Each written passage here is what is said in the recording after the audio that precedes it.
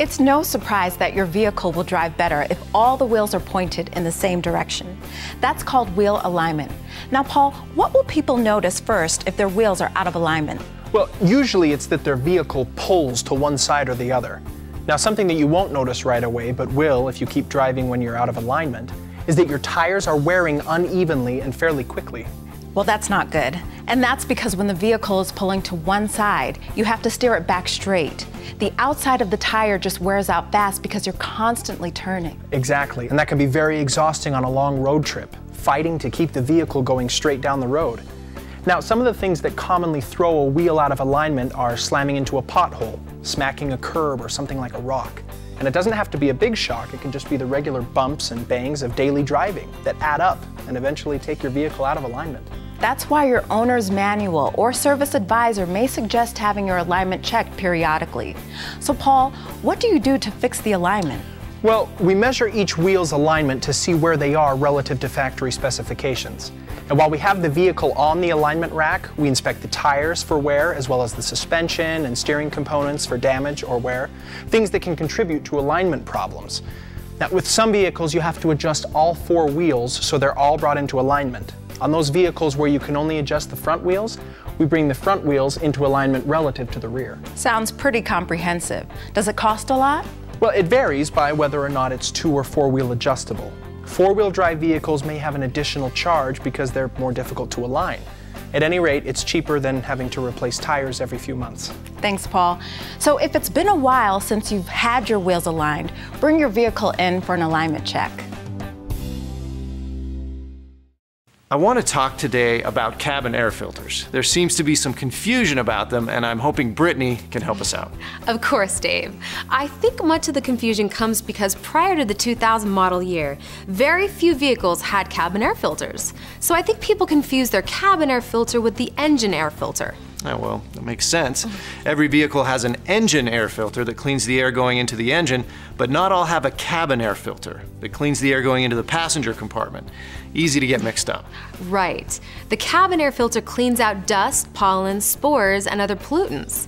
To give a point of comparison, a grain of sand is about 200 microns across. A cabin air filter can stop particles that are just three microns in size. It really makes the passenger cabin a much more pleasant environment. Yeah, I can see that. I've read that the air in your vehicle can be up to six times more polluted than the outside air. So your cabin air filter really has its work cut out for it. Brittany, what do you do when the filter gets dirty? Well, you just need to replace it. Your owner's manual may have a recommended interval for changing it. If not, we can inspect it. You know, it's ironic that many people don't even realize they have a cabin air filter until it starts to get a little smelly. Ugh. Yeah. Is it hard to replace? Well, it depends. Some cabin air filters are very easy to get to. Others, not so much. We have to get behind the dashboard and it takes a little time. Okay. Thanks, Brittany. A clean cabin air filter keeps out smog, allergens, and other harmful pollutants, and it protects your entire heating and air conditioning system from dust and grime. So if it's time, get it changed right away. I'm often asked questions about the cooling system, the system that cools your engine and keeps it at the proper operating temperature. Now, I like to divide the topic into two areas. First, the coolant itself, and second, the parts that make up the cooling system. The coolant is the mix of water and antifreeze that circulates through the engine to draw off heat. First, you need to have the proper amount. If you don't have enough coolant, it can't keep your engine cool. You also need the right kind of coolant. Different makes of vehicles require different coolant formulation to protect against corrosion. Finally, your coolant needs to be fresh. Over time and miles, the anti-corrosion additives in the coolant are depleted, and the coolant can actually start to eat away at the cooling system parts. Your owner's manual and your service advisor can help you with the recommended coolant replacement schedule and make sure you're getting the right type of coolant. Now let's talk about the cooling system components. These will all eventually wear out and need to be replaced. Starting with the radiator. We see them coming into the shop with leaks or clogged with deposits. Depending on the damage, we'll clean, repair, or replace. We also see radiator pressure caps that can no longer hold the proper pressure. We recommend replacing pressure caps when you change your coolant to avoid this problem. We see leaky water pumps and hoses that need to be replaced. There's also a part called the thermostat that opens and closes to regulate the flow of coolant. Sometimes they stick open or closed and the cooling system won't work properly. It's a straightforward replacement. Now, engine damage from overheating can be very expensive to fix, so it's important to maintain your cooling system properly with scheduled coolant replacement and periodic inspections of the cooling system. Certainly come in if you suspect a leak and have us take a look. When you take a corner in your car, the outside wheels have a slightly longer distance to go than the inside wheels. That means the outside wheels have to turn a bit faster than the inside. And the piece of mechanical wizardry that makes this possible is called the differential. The differential allows the drive wheels to rotate at different speeds in turns without the wheel binding or hopping. If you have a rear wheel drive vehicle, the differential is on the rear axle. You've seen that bulge in the middle of the axle when you're driving behind a truck? That's the differential. If you have a front wheel drive vehicle, the differential function is handled by your transaxle. Of course, all wheel drive vehicles have differentials on both axles. They also have a center differential or a transfer case between the front and rear axles to compensate for speed differences between the front and the rear. Now, because all the power of the engine is transferred through the various differentials, you can imagine that they are very strong and are built to last a long time. That's why it's important to keep your differential properly lubricated. Differential fluid cools and protects the gears. Your service technician will check your differential fluid level and top it off if necessary. With low fluid, the differential will run too hot and wear prematurely.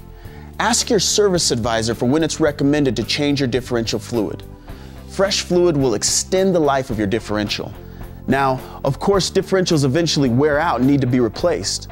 You might notice a strange noise from your axle area as one of the first warning signs. When the differential shows signs of failing, it's important to repair it.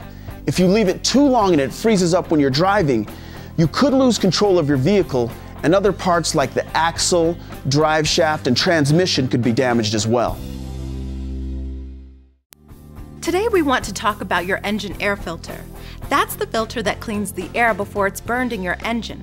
Jeremy, how often should you change your engine air filter? Well, the simple answer is when it's dirty. That's a function of how much air is passed through the filter, so the manufacturer will recommend a mileage interval for replacing the air filter.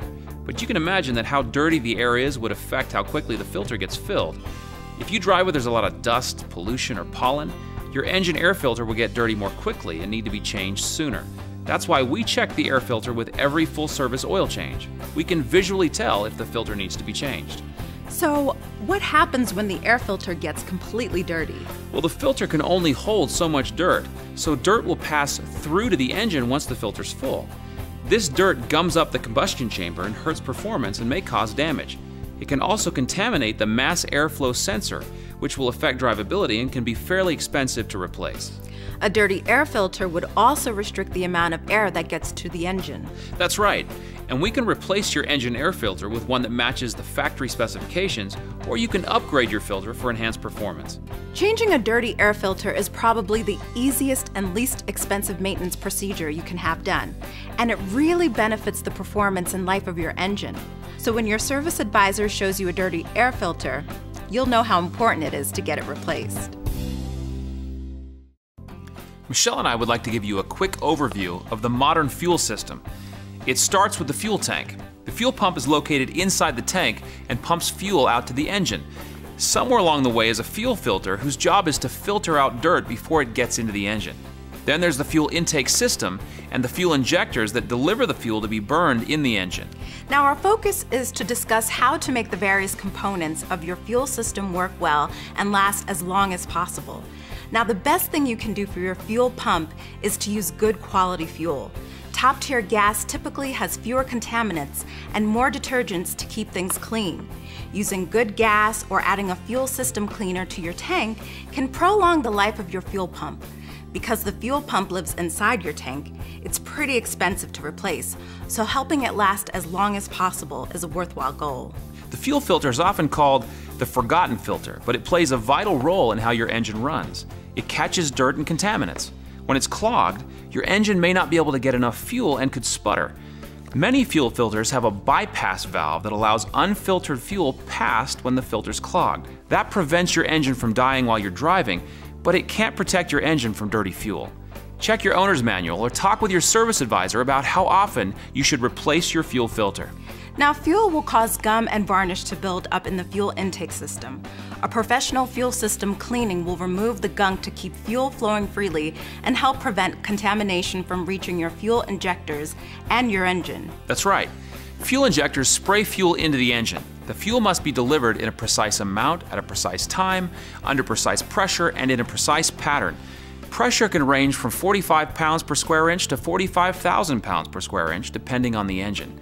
As you may guess, fuel injectors cost a lot. Allowing them to get gummed up will not only hurt your performance and fuel economy, it will cause the injectors to wear out much more quickly than they should.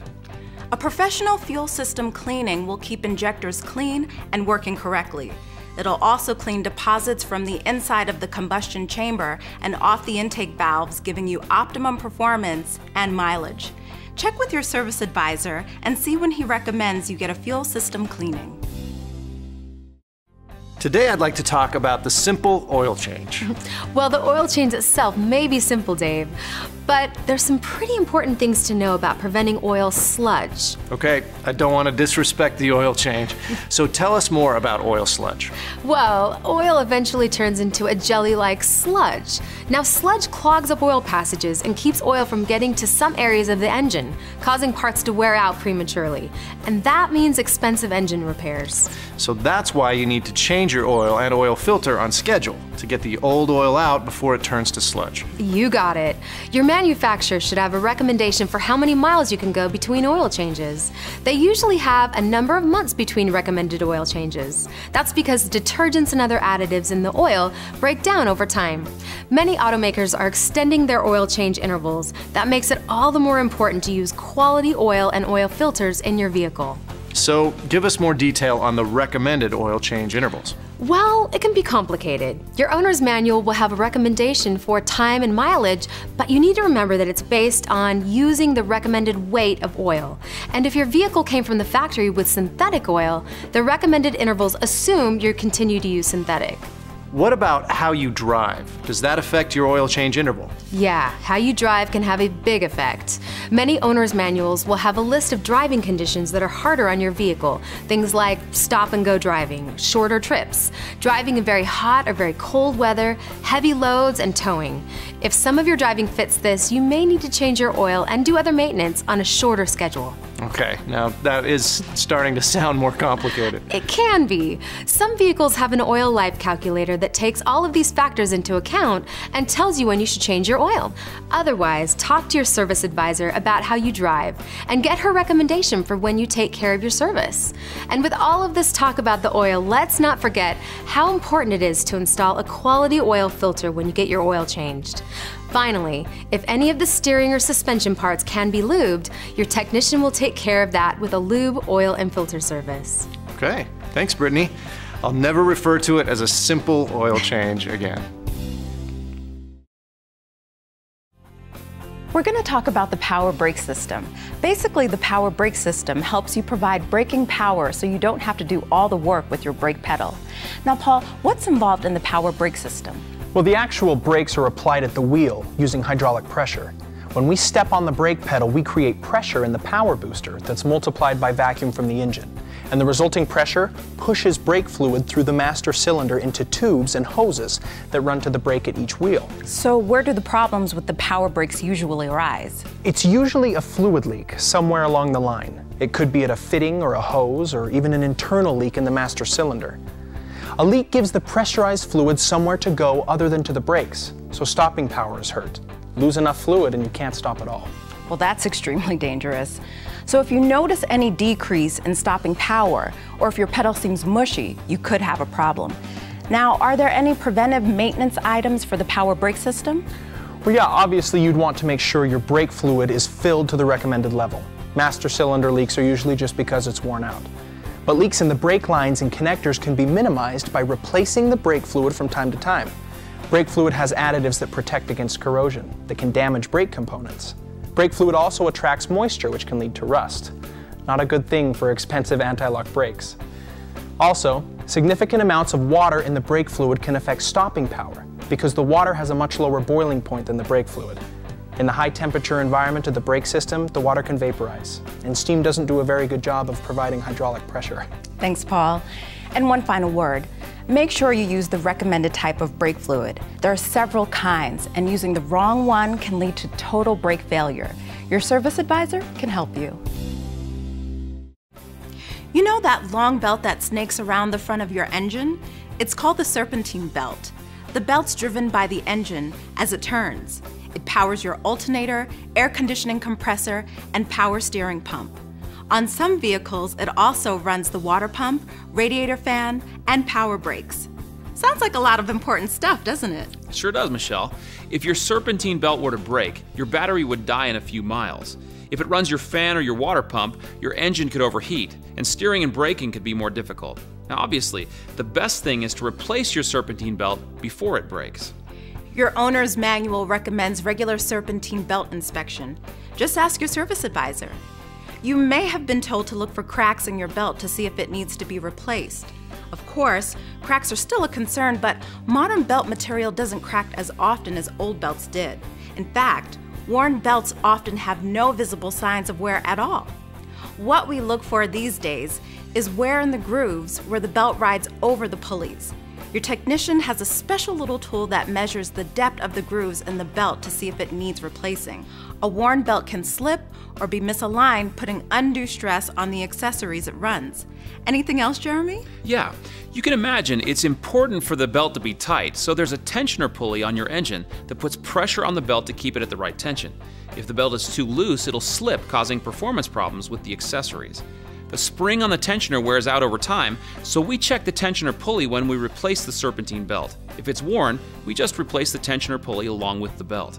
Replacing your serpentine belt and belt tensioner when needed will keep you from an unexpected breakdown. Brittany, it seems like the days when you changed your spark plugs every couple of years have ended.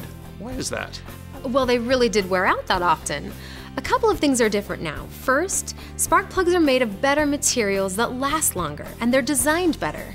The second reason that plugs used to have to be changed was that they were fouled up with carbon deposits. The deposits built up when fuel wasn't burned completely. That doesn't happen as much now with modern engine controls, right? No, and that's the point. Engine control computers precisely time when fuel is injected into the engine and when spark plugs fire. Unless something's wrong, spark plugs just don't foul like they used to. So walk us through those steps, would you? Sure. Electricity from the battery goes into a coil that allows power to build up to anywhere from 12,000 to 45,000 volts, depending on the vehicle. The engine management computer tells the coil when to release the power to the spark plug.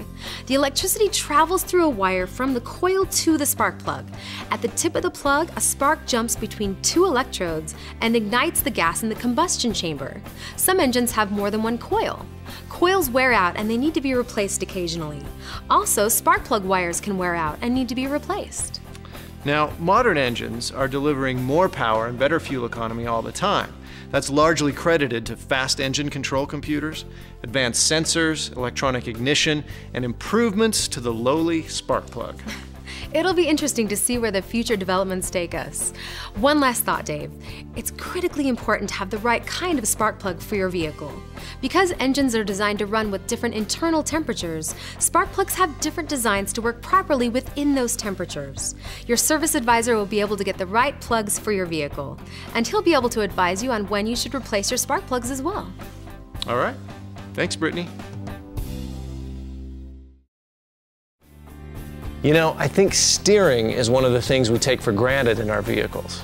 So, what are some of the things we should know about taking better care of our steering system? Well, I like to think of steering in two areas. First, the power assist, and second, the actual parts that steer the vehicle. Hmm. I bet most people under 40 have never driven a car or truck without power steering. How true. Most vehicles today have a hydraulic power steering pump that provides boost to help you steer. The pump is usually driven by the serpentine belt, but some newer vehicles have an electric pump. Don't some vehicles even have an electric motor that directly powers the steering? You got it. Now, the important thing to keep in mind is that these pumps and motors will eventually wear out, and the hoses will start to leak. We can postpone that day by having a power steering service from time to time. Your auto center will drain the old fluid and replace it with fresh fluid. This removes water and contaminants that can corrode power steering parts. Ask your service advisor for the recommended change interval. Now, what about the mechanical steering parts? Is there anything you can do to maintain them? Well, if any of the steering parts can be lubed, your technician will take care of that with a lube, oil, and filter service. Other than that, just watch for signs that parts are wearing out. Hmm. Things like loose steering and uneven tire wear, right? Exactly. Worn parts can be replaced to get you back on the road. Now, sometimes parts can be bent or damaged from hitting potholes, curbs, or rocks, like I do sometimes. But I think the important thing to remember is to take care of these problems early on. If you neglect them, the damaged parts stress other attached components. Hmm. Kind of starts a chain reaction of damage. Exactly. Steering maintenance is pretty straightforward. Replace power steering fluid as recommended, fix worn or damaged parts right away. That'll save you money in the long run. I want to address a very important maintenance item, timing belt replacement. It's important because letting this one slide can lead to very expensive engine damage. Your timing belt choreographs the timing of your combustion process. Your pistons travel up and down in the cylinder. Intake valves open at the right time to let in air and fuel. They close at the right time to allow the fuel to burn, and then the exhaust valves open at the right time to let out the exhaust. Now, all of this happens thousands of times a minute, and it's your timing belt that makes sure the valves are opening and closing at precisely the right time. If the timing is off, your engine won't run, and that's the best case. The worst case is that a valve is opening at the wrong time and collides with the piston. The result is bent valves and maybe even more damage to the cylinder head, and repairs can run several thousand dollars. Now, timing belts just wear out naturally, so you want to replace a worn belt before it slips or breaks. Check your owner's manual or ask your service advisor to see when they recommend you replace the timing belt. If you've never replaced your timing belt and have 60,000 or more miles on the clock, talk with your service advisor right away to see if you're due. On some engines, the water pump is driven by the timing belt as opposed to the serpentine belt. If that's the case, it's a good idea to replace the water pump when you're replacing the timing belt and vice versa, since much of the same work has to be done for either. The same is true for the timing belt tensioner. It should be inspected and possibly replaced. Now, replacing a timing belt is one of the more expensive routine maintenance items on your service schedule. But not replacing your timing belt can lead to some of the most expensive repairs you're likely to ever have. We're going to talk about making your tires last longer with regular tire rotation and wheel balancing. Now let's start with tire rotation, okay, Paul? Oh, sure thing. In normal driving, your front tires wear more on the shoulders because they handle much of the cornering forces and turns. Front wheel drive vehicles have even more force on the front tires. We rotate the tires so that all the tires do some duty on the front end as well as getting a little break on the back end. So all four tires wear more evenly over their life and last longer. And are tires always rotated front to back?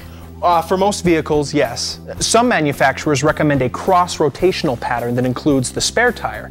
And some high performance vehicles have a different size tire on the front and in the rear, and may even have unidirectional tires that can only be on the left or right side of the vehicle.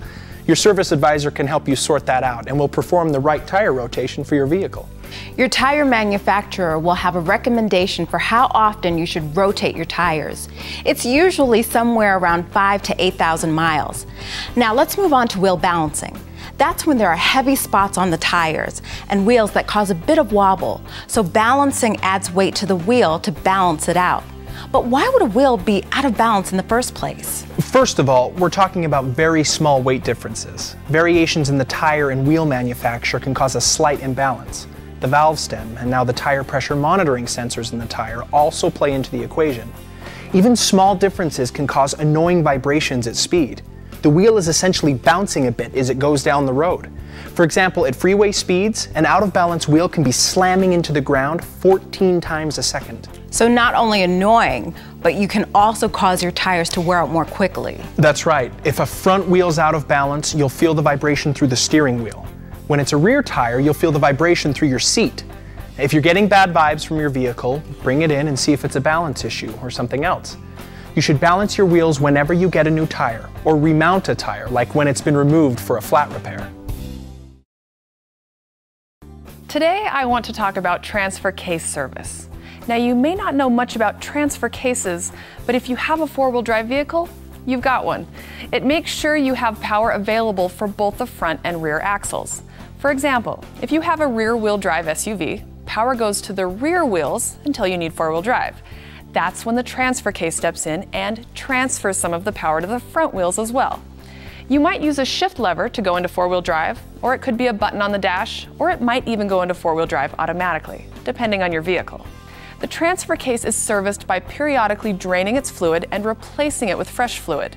We also check for leaks and damage. Transfer case fluid cools and lubricates the gears, chains, bearings, shafts, and other parts. Over time, the additives in the fluid wear out and it doesn't protect as well. Also, little bits of metal and clutch material wear off and contaminate the fluid.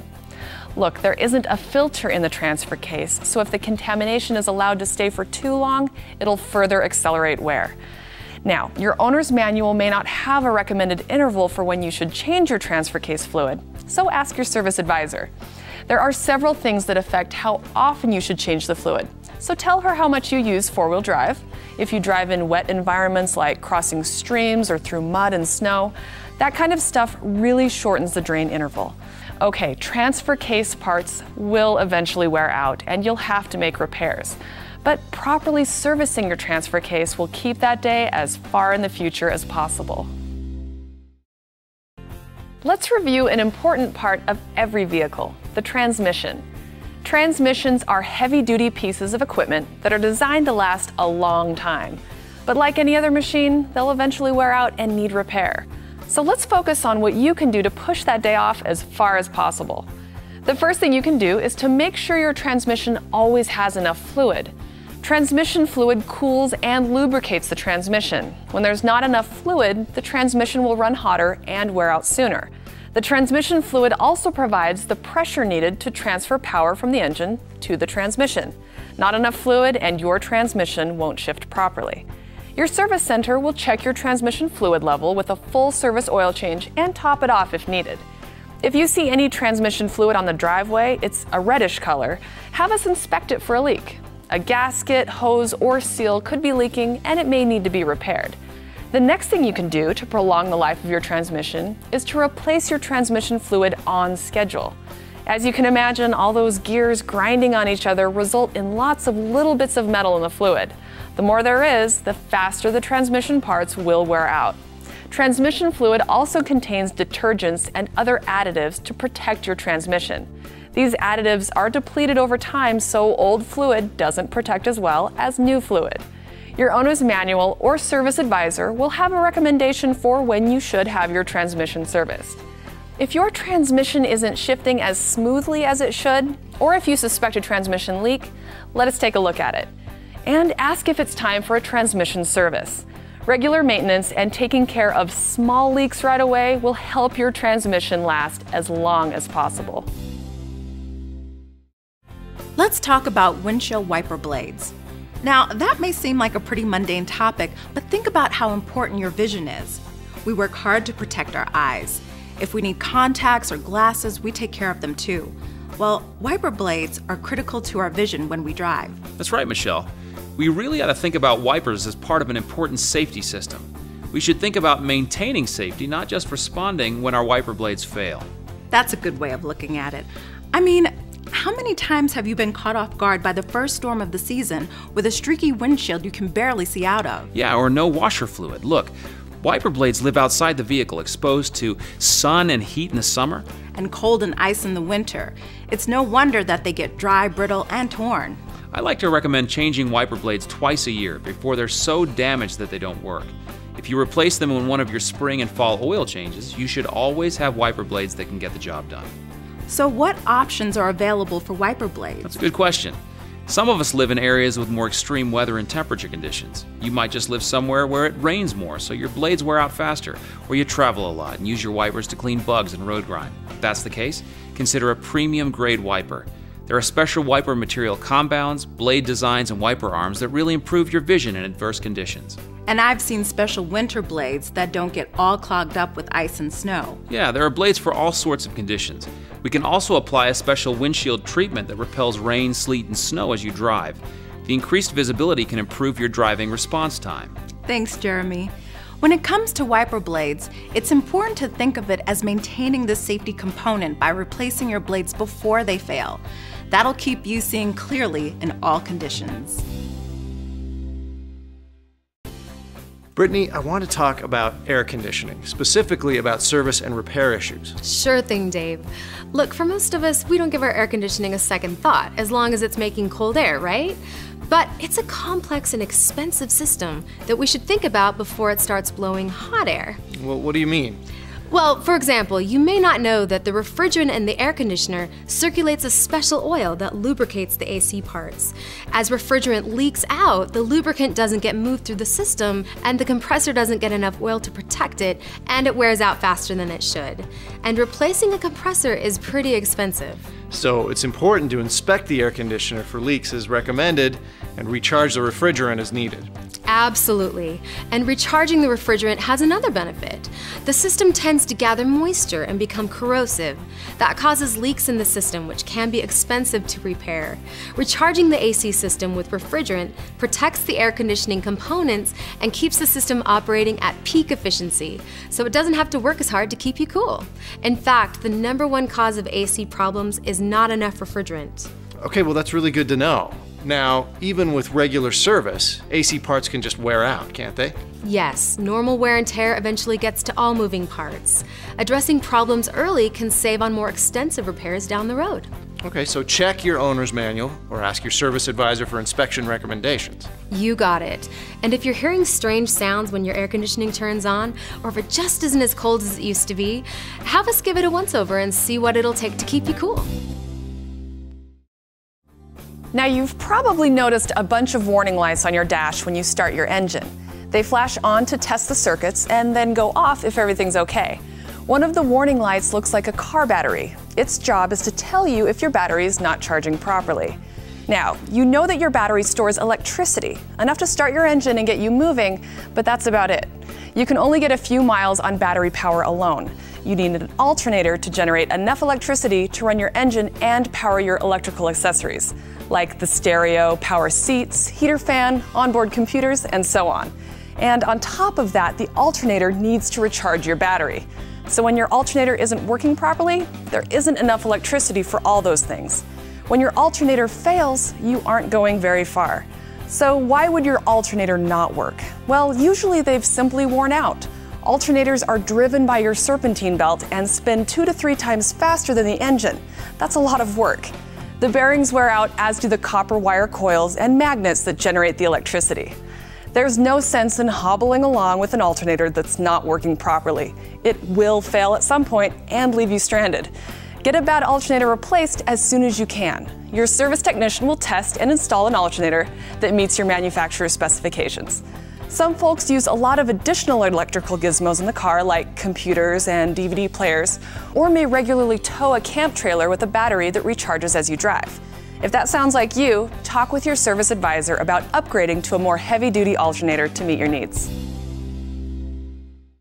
Your axles are the last link in transferring power from the engine to your wheels. They're strong parts that last a long time, but they can run into trouble.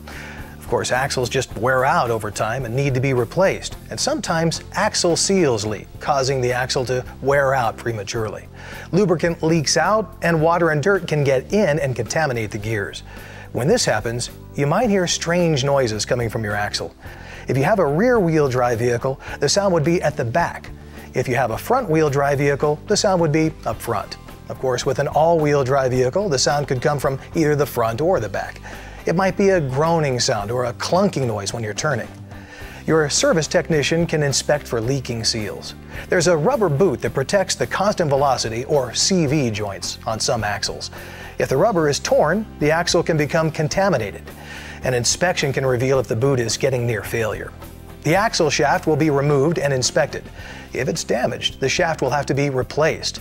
If the shaft is in good shape, it'll be cleaned, lubed, and reinstalled and damaged CV boots are replaced as well. Now it's important to take care of this work as soon as you become aware of the problem. Waiting only makes the damage worse and more expensive to repair later. If the axle fails completely, it could lock up, and this could severely damage other things like your transmission, which is very expensive. It could also contribute to an accident, which nobody wants. So taking care of your axles when they need it saves money in the long run and helps keep you safely on the road. Batteries are a huge part of modern life. I mean, how many battery chargers do you have around? I've got a box full of them. Of course, we're here to talk about your car battery. When people come into my center and need a new battery, they're really not that happy about having to spend the money. But the fact is that 70% of batteries don't last four years. But there's some things you can do to extend the life of your battery. First, keep it clean. If you see it getting dirty or greasy, let us know and we can clean it off. A dirty battery runs hotter, and that shortens its life. If your battery terminals are corroded, let us take a look at that too. We can clean them up, and if the corrosion has gotten into the battery cables, we can replace them. Also, running your battery way down is bad for it. Things like running the headlights or watching a DVD player with the car turned off can deeply deplete your battery. The typical battery can only take about 10 of these deep cycle depletions before it gives up the ghost. Now, because we often take short trips around town with lots of stops for errands, our batteries can end up not getting fully recharged just by driving around. That also shortens battery life. But you can hook up a good quality automatic battery charger at home from time to time. I recommend charging once a month during hot months and every three months during cold months. Now, when it's finally time to get a new battery, we can help you find the right replacement. We'll always make sure to meet your manufacturer's recommendations. Now, if you have some special needs, like you live in a very cold climate or run a lot of electrical accessories, we can look at an upgrade that'll give you all the power you need. You know, when my check engine light comes on, I'm torn between utter panic and just wanting to ignore it and hope it goes away. Yeah, well, that's understandable because that same check engine light could be coming on for anything from serious damage to your transmission to all the way down to just a loose gas cap a loose gas cap? There's a trouble code for that, seriously? Well, that's a really good question. See, there's a very common misconception that the trouble code stored in your engine computer when your check engine light comes on will specifically identify a problem. It's really more like pointing to the symptoms of a problem. Take uh, your temperature, for instance. Say it's 101. Your heat sensor, the thermometer, tells you that your temperature is out of the normal range, but what it doesn't tell you is why you have a fever. Right. Is it the flu or a sinus infection? You need more information, more tests. Exactly. And for any given trouble code, there could be a number of causes. So your trained technician takes the trouble code as a starting point and begins a diagnostic process to determine the cause of the problem. And for some problems, it takes longer than others. So when your engine management system logs a problem and illuminates the check engine light, you plug in a scanner, download the trouble codes, and go to work tracing the cause of the problem, right? Yep, that's when our training, equipment, databases, and skill get put to work diagnosing the problem and fixing it. Oh, and Dave, if your check engine light is flashing, it means that the problem could lead to serious damage and you should get to the service center as soon as possible to get the problem solved. If it's on but not flashing, you have some time to get in at your convenience. All right, thanks, Brittany. I feel better already. Hey, you don't need me to tell you how important your brakes are. Having good brakes just keeps you out of trouble, so carefully maintaining your brakes is the key. With disc brakes, brake pads rub on a disc or rotor to slow the wheels. The pads are attached to a caliper that squeezes them against the rotor. It's kind of like how squeezing the handbrake on a bicycle pushes the brake pads against the wheel of the bike. Now, pads just wear away with use, kind of like how a pencil eraser wears out. But the good news is that replacing brake pads is a straightforward repair. If you hear squealing or grinding when you use the brakes, have your service advisor check them out. He'll have a technician perform a thorough brake inspection to see what needs to be done. He'll check for signs of brake problems and go over other brake components to see that they're working properly. And he can tell you if it's time to replace the pads or if there are other issues with your brakes that should be addressed. Some people ignore the warning signs and keep driving long after the pads are completely worn out. But when that happens, metal brake components will grind on the rotor, damaging it enough that it needs to be resurfaced or replaced. The rotors can also warp or crack, in which case they'll need to be replaced. Brake calipers also wear out over time. They can develop leaks or the caliper pistons can freeze open or closed. Either way, it's not good. And when this happens, it's time to replace the calipers. A thorough brake inspection will reveal worn bearings or seals as well. The new pads we put on your vehicle will restore your brakes to manufacturer specifications. or we can install upgraded parts to increase your power to stop and reduce brake noise and brake dust. We have several options to meet your braking requirements and your budget. So taking care of your brakes keeps them working safely, and you could prevent premature brake repairs down the road. Brakes that work properly are essential to your safety. So of course, you want to carefully maintain your brakes. In vehicles equipped with drum brakes, the brake components are housed inside a drum that rotates with the wheel. When you step on the brake pedal, brake shoes push out against the inside of the drum, slowing the wheel. Now, brake shoes just wear away by rubbing on the drum when you brake. When it's time to replace brake shoes, it's a straightforward repair. If you hear squealing or grinding when braking, have your service advisor check them out. He'll have a service technician perform a thorough brake inspection to see what needs to be done. He'll check for signs of brake problems and go over other brake components to see that they're working properly. He can tell you if it's time to replace the shoes or if there's other brake issues that should be addressed. Now, some people ignore the warning signs and keep driving long after the shoes are completely worn out. When that happens, metal brake components will grind against the drum, damaging it enough that it has to be resurfaced or replaced. When you push on your brake pedal, the wheel cylinder is activated and it pushes the shoes against the drum to slow the vehicle. This cylinder and various springs within the brake can wear out affecting your ability to stop. But the worn components can easily be replaced. The new shoes we put on will restore your brakes to manufacturer specifications. Or we can install upgraded parts to increase your stopping power and reduce brake noise and brake dust. We have several options to meet your braking requirements and your budget. So, taking care of your brakes keeps them working safely and you could prevent premature brake repairs down the road. We'd like to talk about your vehicle's evaporative emissions control system, or EVAP for short. Your vehicle's fuel system is sealed to trap vapors before they can escape into the atmosphere. The EVAP system draws in fresh air, gathers up vaporized hydrocarbons, and delivers them to the intake system to be burned in the engine. If there's a leak or blockage in the EVAP system, a trouble code will be generated setting off the check engine light. There are many EVAP system components that could have problems. Things as simple as a worn or loose gas cap or a rusty fuel filler pipe.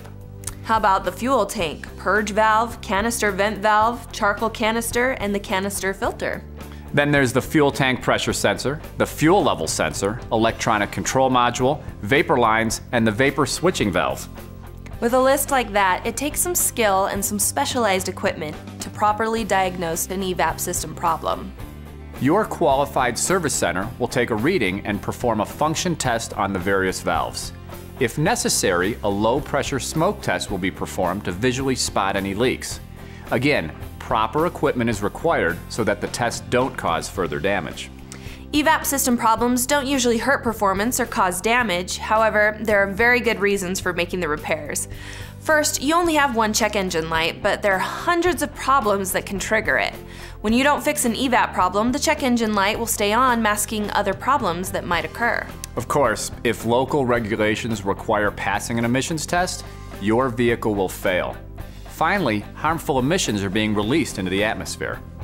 Now, if you have an illuminated check engine light, get in and have your vehicle diagnosed. You'll want the peace of mind.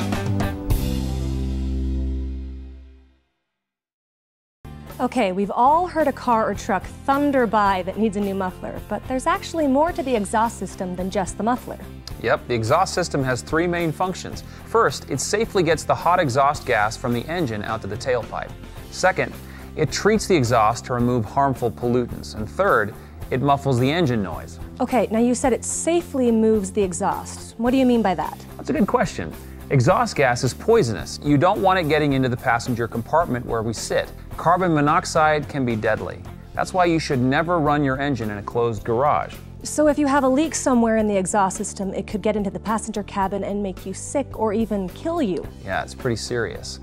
And if you smell exhaust in the vehicle, roll down your windows and get it inspected.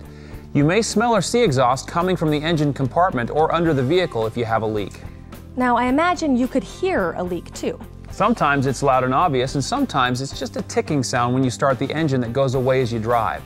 That could be a small crack or a bad fitting that leaks when it's cold, but seals up when the metal heats and expands. Wow, sounds like you can't underestimate the safety aspects of an exhaust leak. No, you really can't. Okay, now I can address the environmental issues. Exhaust gas contains a number of pollutants and particulates. The catalytic converter scrubs some of those harmful substances, and diesel vehicles have systems to deal with soot. But catalytic converters eventually wear out and need to be replaced. They're expensive, so you want to help them last as long as possible by keeping the fuel system clean and replacing your air filter. That's exactly right. These components need to be tested for function with an emissions test from time to time. And that leaves the muffler. It's my favorite part. Thought it would be. Well, that's the beauty of it. You get a muffler that suits your taste. Some want whisper quiet, others like a little rumble. And some like a roar. Thanks, Jeremy.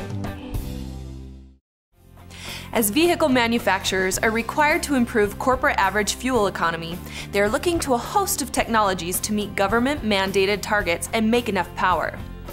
One of those technologies is forced air induction. In familiar terms, this means using turbochargers and superchargers to force more air into the engine. More air means more power from a relatively small engine, which delivers good fuel economy. That's why you're seeing more and more turbo and supercharged engines available.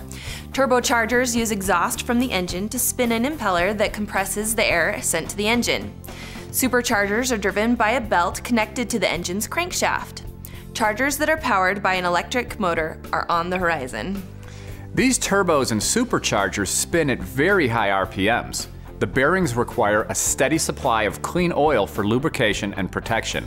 A bit of oil sludge blocking that passage could burn out the bearings. The best thing you can do for your turbocharger or supercharger is to change your oil on schedule. In addition to strictly following the oil change schedule, you should always use a high quality oil of the type recommended by the manufacturer. Use the correct weight, and if the owner's manual says to use synthetic oil, use synthetic oil. And with a turbo or supercharged engine, your air induction system will have a lot of air passing through it. Have an air induction cleaning service performed as recommended. And remember to change your air filter when needed. Another important factor is the proper grade of fuel. These engines experience extra pressure in the engine as the fuel and air is compressed. Using fuel with too low of an octane rating could cause premature detonation, which can lead to expensive damage. Servicing turbos and supercharged engines requires a well qualified shop. We are honored to help you take care of your family's vehicles.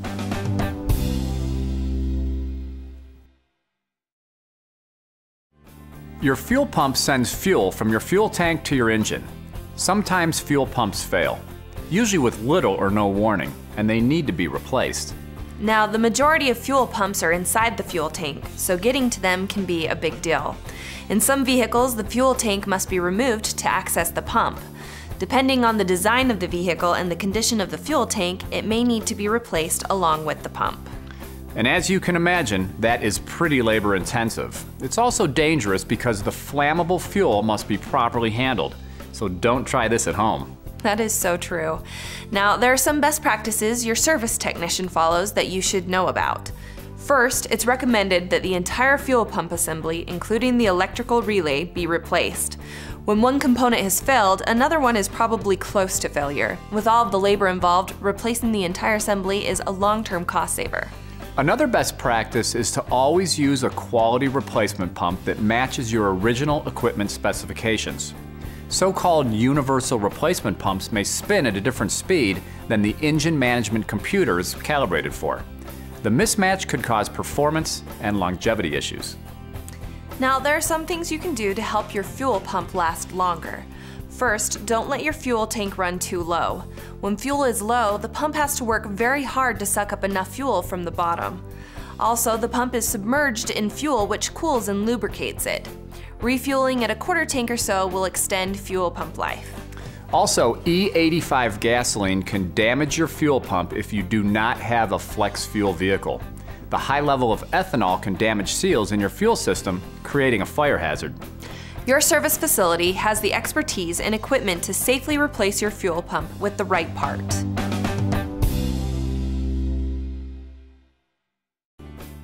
Okay, Brittany, I just read that 40% of traffic fatalities take place at night, even though there's 60% less traffic. Wow, that just goes to show how important proper visibility is to nighttime driving.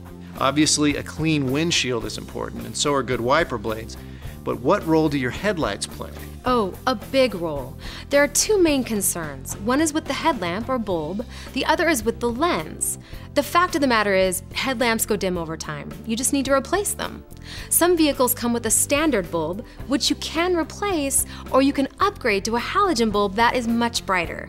Halogen costs a little bit more, but you'd be amazed at the difference. I've heard it's a good idea to replace your headlamps once a year. The idea is that your lamps never dim to the point that they become a safety issue. Right, many experts recommend that. Now, the other issue is a headlamp lens. For the last couple of decades, most lenses are made of plastic, which can get cloudy or yellow, and that blocks a lot of light. Yeah, I've seen that. Do you have to replace the lens? Well, problem is each lens assembly can cost as much as $350 to $400. It's much less expensive to restore the lens if it isn't broken. We use a process of special cleaners and polishes to remove the yellowed and hazy layer of the lens. We then apply a hard protective finish. When we're done, your lenses really are as good as new. And I assume it costs quite a bit less to restore a lens than to replace it. It really does. The price depends on the size of the lens and how yellowed or cloudy it is.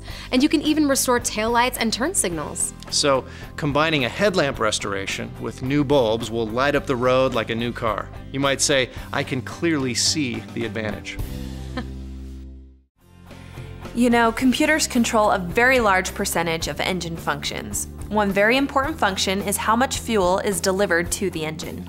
That's right. The computer calculates the amount of fuel that's needed and when to deliver it. An important part of that calculation is the proper air and fuel mixture. That's based on the volume, temperature, and density of the air. The mass airflow sensor measures all of those things and reports them to the computer, which makes adjustments to keep your engine performing efficiently. So, outside air enters the air intake system, passes through the engine air filter, and then passes through the mass airflow sensor, and then into the engine. Now, when your air filter is dirty, dust and other contaminants get through and end up on the mass airflow sensor. Now the resulting problem is that the sensor can become contaminated, affecting its measurements. The computer is sending out instructions based on false readings which can affect drivability, your catalytic converter, exhaust emissions, trigger a check engine light, even prevent your engine from running. So we're back to the engine air filter. It's truly the first line of defense against some pretty expensive problems. Should your mass airflow sensor become contaminated, it may be possible to clean it during an air induction cleaning service. If the sensor has been damaged, it needs to be replaced. Another air filter issue has to do with the quality of the filter itself. Filter material from low-line filters can actually break loose and contaminate the mass airflow sensor. Of course, your service center always uses quality replacement filters.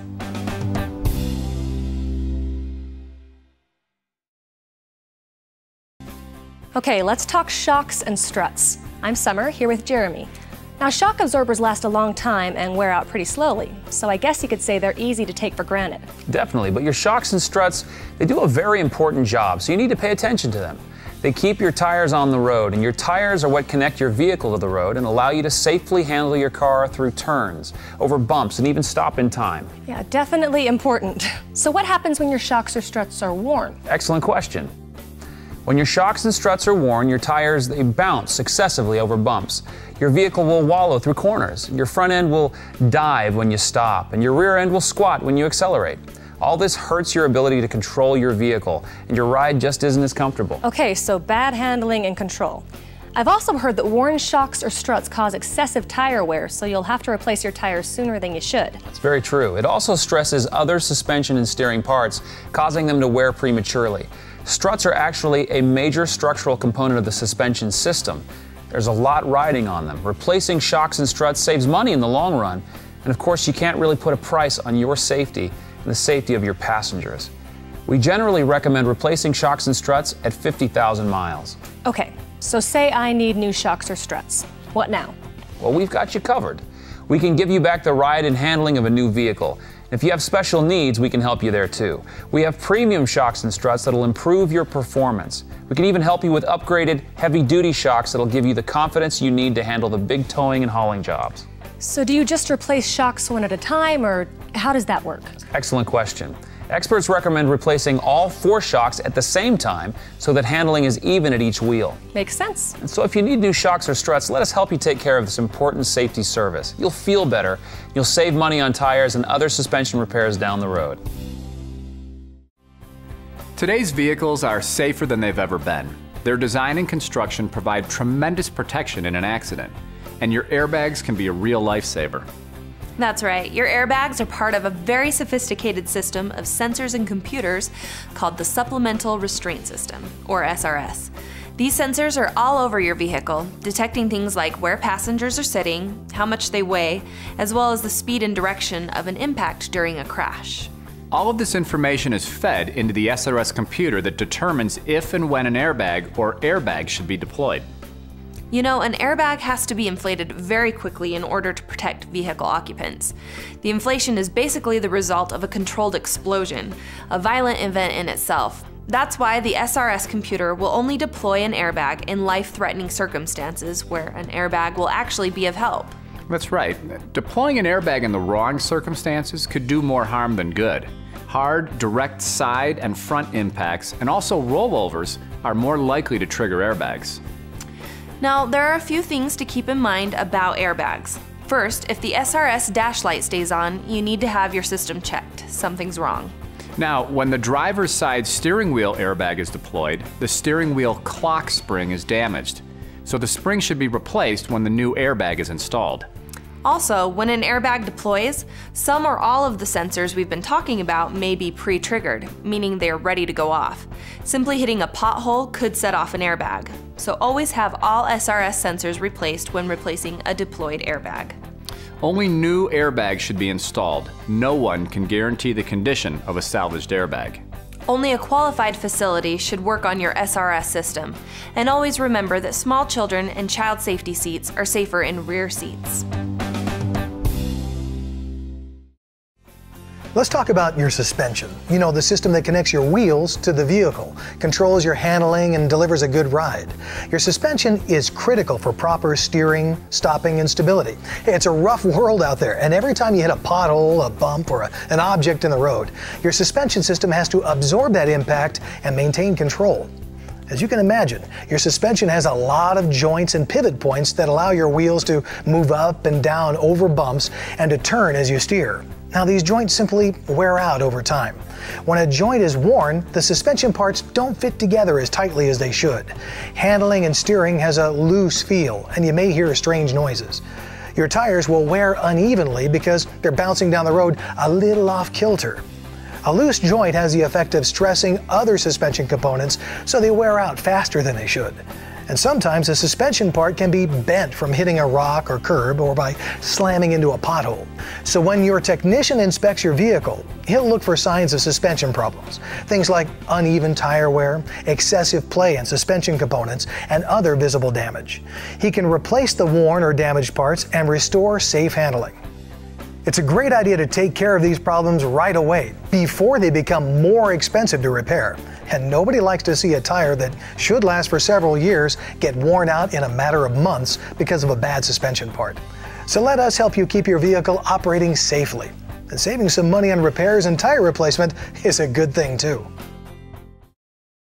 All new cars and light trucks since 2008 have come equipped with a tire pressure monitoring system. The TPMS system detects when a tire becomes underinflated and lights up a warning light on the dash. So what's the big deal? Well, underinflated tires can be a real safety concern. First of all, they don't handle properly and that can lead to an accident. And second, underinflated tires can overheat and cause the tire to come apart, which can also lead to an accident. That's right, Jeremy. Government regulations requiring TPMS systems aim to reduce accidents and save lives, a very worthy goal. There are also positive environmental effects because underinflated tires are fuel wasters. You lose 1% of your fuel economy for every 3 pounds of pressure below ideal.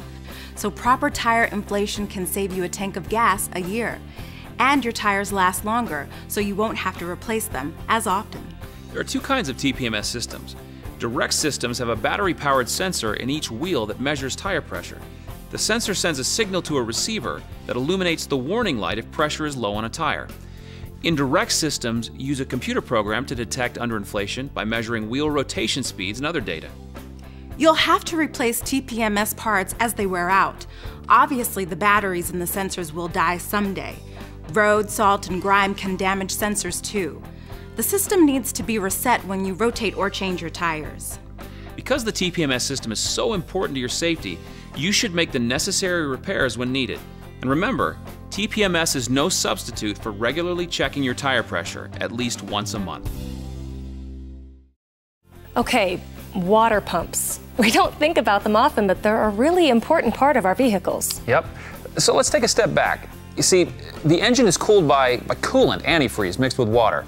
This mixture circulates around that engine, absorbing some of the heat. The coolant then flows through the radiator where air cools it down for the return trip back through the engine. And the water pump is what drives this process. Now, I've heard that cooling system problems are the number one mechanical failure, so the water pump plays a pretty important role. Absolutely right. You can't get very far without a water pump. So, do water pumps just wear out? I mean, what causes them to fail? Well, after all those miles and years of pumping coolant, they just wear out. You might notice a whining or grinding sound coming from the water pump, or maybe you'll see coolant leaking from the pump itself. So, where's the water pump located? Well, the exact location varies depending on the vehicle. Some have the water pump attached to the outside of the engine where you can see it. With those, the water pump is driven by the serpentine belt. Some have the water pump driven by the timing belt. The timing belt cover often hides the water pump with this setup, so you can't see the pump without removing the cover. Oh, great. A little more complicated.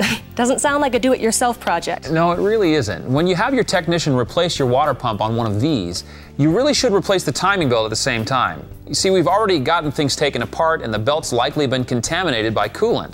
The timing belts usually need to be replaced every 60 to 90,000 miles anyway, so it just makes sense to do both jobs at once. And the opposite is probably true too. When you change the timing belt on this type of engine, replace the water pump while you're at it. Exactly right. The water pump will eventually fail, and getting to it is an expensive project. So, for a little more, you can take care of both the timing belt and the water pump at the same time. Good stuff. Thanks, Jeremy. For a lot of people, their wheel bearings are something they've never even considered. Wheel bearings are what enable your wheels to spin freely. Since they bear the entire weight of the vehicle, they have to be tough. Wheel bearings can last well over 100,000 miles, but they do wear out and eventually need to be replaced. You might hear a groaning sound from your wheels. The sound might disappear at some speeds and reappear at others. Your service technician can quickly tell if your bearings are bad by raising the vehicle and wiggling the wheel. When you grasp the top and the bottom of the tire, it shouldn't move along the vertical axis. Many vehicles these days have wheel bearing assemblies that cannot be serviced. When those bearings go bad, we simply replace the entire assembly. For those vehicles with wheel bearings that can be accessed, we can do some preventive maintenance. You may have heard the phrase, pack the bearings. Well, with this procedure, we remove the bearings, carefully clean them, and inspect for any imperfection or wear. If the bearings can be reused, we reinstall them and pack them with grease. If not, we put in new bearings. Check your owner's manual or ask your service advisor if your bearings can be serviced. And if so, when should it be done? Now, taking care of bad bearings is extremely important. When bearings go bad, they generate tremendous amounts of heat, enough to lock up the wheel. That's not a good thing at any speed. In some cases, the wheel can even fall off. Either of these could cause a serious accident. So, have your wheel bearings inspected if you think there's a problem, and replace them right away if there is one.